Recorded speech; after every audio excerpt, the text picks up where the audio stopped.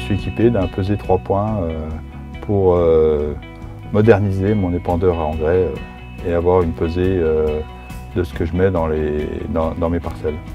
Alors c'est très facile à installer, vaut mieux être deux pour l'installer à cause du poids, ça pèse 70 kg.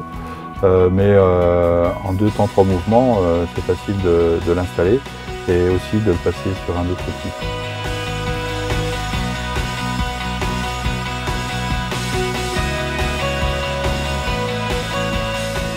Donc euh, il y a juste à appuyer sur euh, le bouton on-off et euh, attendre le défilé du, numérique. Et après on, met, on fait une tare à zéro en appuyant sur la touche zéro et c'est parti.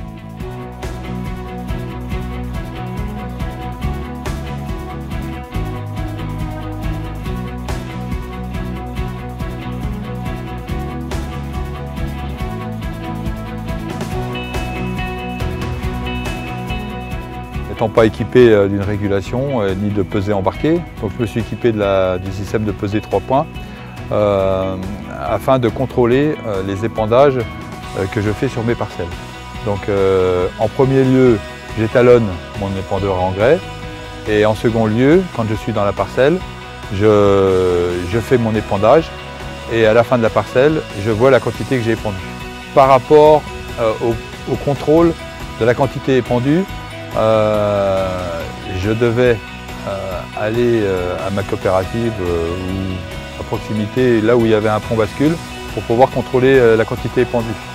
là, je gagne beaucoup de temps parce que j'ai un contrôle instantané de la quantité qui est épandue. Donc je peux me rendre compte tout de suite s'il y a un problème au niveau du débit de l'épandeur et ça me permet de corriger instantanément la quantité que pas. Je peux l'atteler sur n'importe quel outil.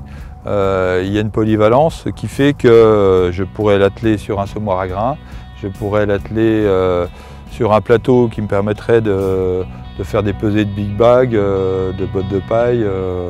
voilà.